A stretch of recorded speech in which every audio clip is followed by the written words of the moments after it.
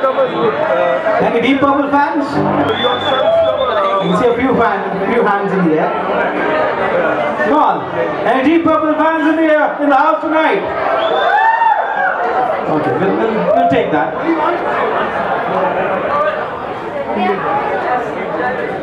Wait a minute, guys.